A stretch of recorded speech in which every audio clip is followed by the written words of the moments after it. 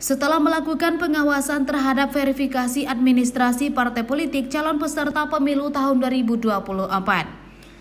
Badan Pengawasan Pemilu Kota Payakumbuh melakukan pengawasan verifikasi faktual yang tengah berlangsung dan direncanakan akan berakhir 4 November mendatang. Dalam pengawasan verifikasi faktual tersebut, Bawaslu Kota Payakumbuh membentuk tim yang tersebar di berbagai kelurahan yang ada di lima kecamatan di Kota Payakumbuh.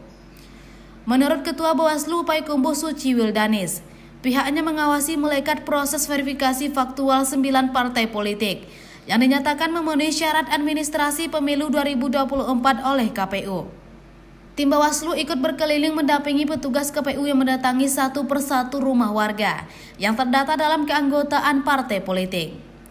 Sejauh ini menurut Bawaslu, pihak KPU masih bekerja sesuai aturan dalam melakukan verifikasi faktual pada proses pengawasan verifikasi faktual keanggotaan partai politik e, tentunya Bawaslu melakukan pengawasan mengekat ya.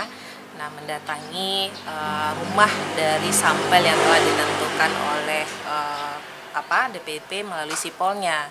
Nah kita ketahui ya untuk kota Payakumbuh itu sebanyak 1141 ya sampel dari 9 partai tersebut gitu. Nah itu kita datangi Bawaslu juga mengingatkan partai politik peserta pemilu agar menginformasikan kepada anggota partainya untuk menyiapkan KTP serta kartu tanda anggota partai saat petugas KPU datang ke rumah mereka untuk melakukan proses verifikasi. Bawaslu akan mengawasi proses verifikasi faktual meliputi kepengurusan dan kantor, kemudian verifikasi keanggotaan yang didaftarkan dan memenuhi syarat untuk pendaftaran parpol. Dari kota Payakumbuh, Ikhlasul Isan, Denai TV.